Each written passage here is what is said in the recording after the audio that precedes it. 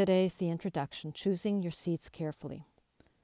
My mother, her name was Teresa, knew that she was dying of lung cancer, and six months before passing, she dropped a bombshell on me. My father had physically forced himself on her, and I was the product of an unwanted union.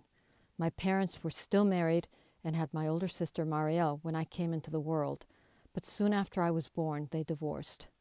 This revelation explained a lot. My childhood was less than stellar. I remember her lashings with a three pronged leather whip.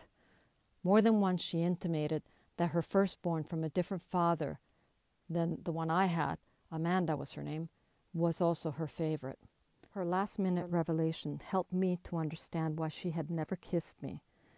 She had never shown any nurturing nor given me any praise. It was quite the opposite. The times I brought home a report card filled with perfect grades, she'd say it was not good enough. I can't recall her ever tucking me into bed, sitting me on her lap, or even baking cookies together as I've seen many moms doing with their children. She never played games nor helped me with my homework. Mother left us behind when she went on her travels. If I ever tried to hug her, she'd freeze. I'd never heard her sing nor saw her dance untethered around the room the way I do. I love to dance. I always laugh, and I double over at jokes until tears stream down my cheeks. Gosh, I wish that she could have known those pleasures. She wasn't an evil person, don't get me wrong. Mom was a product of her time. Partly to blame was an upper middle class upbringing in a repressed 1920s Latin American society that valued silence over exposure or disclosure. Back then, it was still implied that women were simply men's chattel. Mom had no skill set to displace her anger. So her second and third born, myself and my sister Mario, became easy targets. She blamed us for everything. Her favorite accusation was that we prevented her from remarrying. Still, I see how she could have been in pain by leaving behind family and community in Peru to give us a better future. For this sacrifice, I'm eternally grateful to her. As a child, I spent a lot of time alone in my room thinking. My heart told me to use love as a weapon against her blows and my sword in life. I've never wallowed in self pity. I don't see the point, and I've never harbored any anger toward her or anyone else for that matter. On that spring day when she gave me this revelation, six months before she died, I let her talk. It was the only way that I could help her. The more she disclosed, the more I understood. Everything made sense. The ugly secret she had kept hidden all those years about my father had turned her into the angry individual that I knew. It had also kept her from leading a fulfilling life.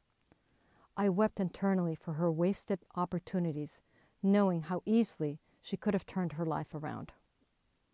Her news stabbed my soul, but I listened patiently. Never one to be held back by anything.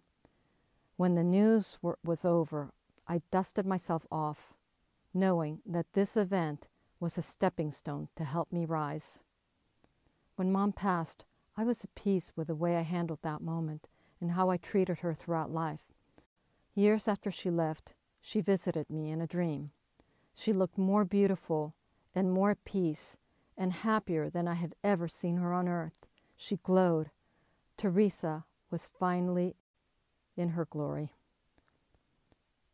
For a long time after Mother's bomb exploded, I pondered how, if I'd been her, how would I have lived after such a heinous sexual act? Perhaps I would have confided in someone. Maybe I would have sought counseling or put my child up for adoption. I don't know. It, more than likely, however, I would have turned inward for answers, anything other than the path of silence that she took and the one that devoured her soul. That secret kept her captive all those years, whether it was her fear of rejection, criticism, shame, guilt, pain, ignorance, distrust, or whatever else it could have been, it held her back from rising in life. I'm certain about one thing through our choices and our thoughts, we create our lives.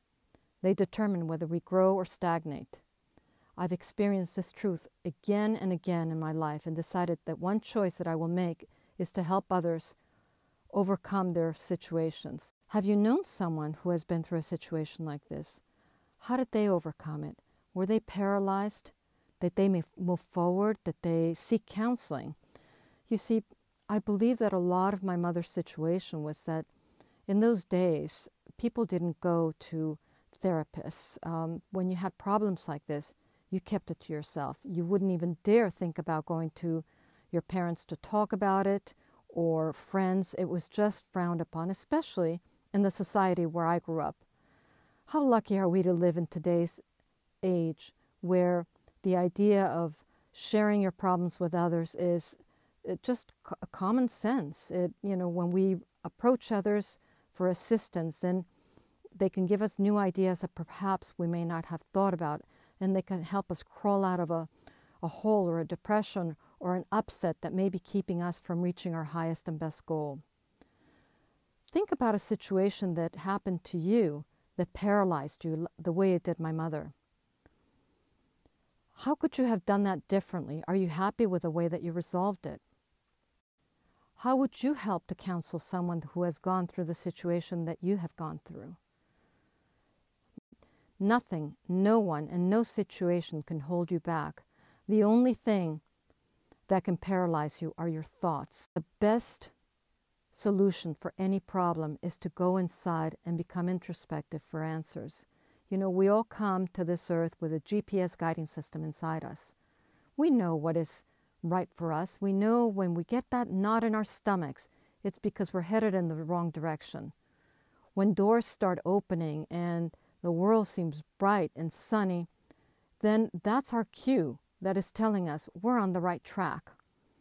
The intention is to bring valuable tools to help you rise above your circumstances, to help you think with higher consciousness, and to give you the tools and insights to lead a life of passion, peace, and purpose.